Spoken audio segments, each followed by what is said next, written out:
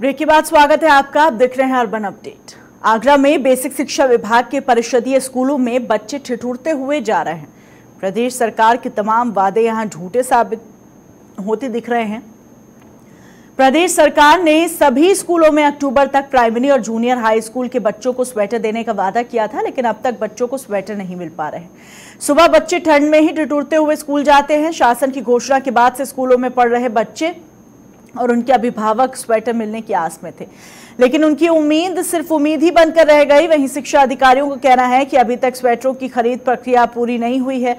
Sweater की आपूर्ति इसमें कम से कम एक महीना लग जाएगा और वहीं शिक्षकों का कहना है कि सरकारी प्राइमरी और जूनियर हाई स्कूल के बच्चों को ठंड में ज़्यादा परेशानी होती है। बता दें ज़्यादातर अभिभावकों की आर्थिक स्थिति कमज़ोर है जिससे वो अपने बच्चों के लिए गर्म कपड़े उपलब्ध नहीं करा सकते। और ये एक साल की बात नहीं है बल्कि हर साल सर्दियाँ आते ही सरकार के तमाम वादे करने का जो सिलसिला है वो शुरू हो जाता है और उसकी हकीकत कुछ ही महीनों में सामने भी आ जाती है। क्लास में बच्चे। फोर्थ में। सु- सुबह पढ़ने के लिए आते हो तो सर्दी लगती है आपको? हमें सर्दी लगती है। अच्छा तो स्वेटर नहीं मिला अभी आपको? अभी नहीं मिला।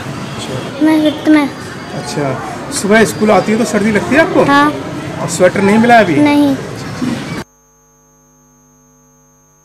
सर्दी का माहौल शुरू हो चुका है गुलाबी ठंड आ चुकी है। आगरा के परिषदी विद्यालयों में बच्चे पढ़ने के लिए आते हैं लेकिन शासन ने एक आदेश दिया था कि स्वेटर अक्टूबर में मिल जाएँगे। लेकिन अभी तक किसी बच्चे को स्वेटर प्रदान नहीं किए गए हैं। आइए कुछ बच्चों को बात करते हैं।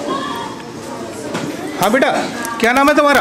अंकुश। अंकुश तुम्हें स्वेटर नहीं मिला? नहीं अच्छा सुबह पढ़ने के लिए आते हो ठंड लगती है क्या? हाँ। लगती है? अच्छा बेटा तुम्हारा क्या नाम है? नवीन। नवीन तुम्हें स्वेटर नहीं मिला है? अच्छा तुम पढ़ने के लिए आते हो सुबह तो ठंड लगती है? अच्छा।